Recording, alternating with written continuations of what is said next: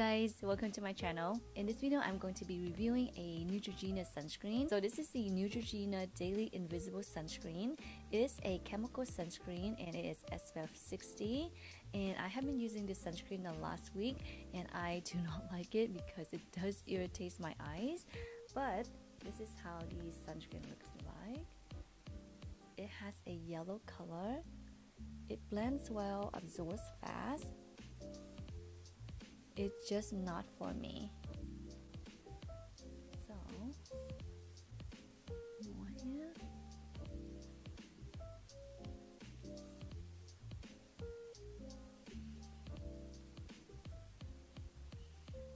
And this is the fitness of the sunscreen.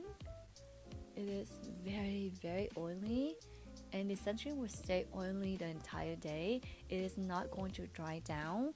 So I feel like with this sunscreen or any chemical sunscreens, they are more suitable for normal or dry skin. Definitely not for oily or combination skin because we don't need this extra oil a few good things about this sunscreen are that it doesn't have any fragrance it blends really well and every time i reapply the sunscreen it doesn't create any pills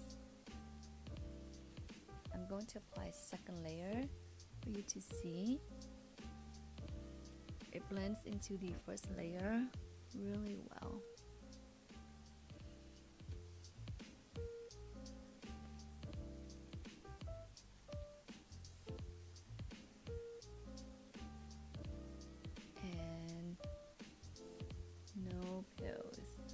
This sunscreen also received an Allure Award for 2022. So overall, if your eyes are not sensitive to chemical sunscreens and you have drier skin or normal skin, you may enjoy this sunscreen because it doesn't have any cast. Let me know if you like this sunscreen and if you are going to try out this sunscreen.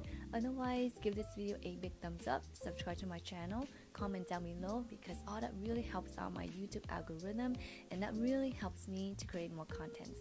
And like always, thank you so so much for watching and I will see you next time.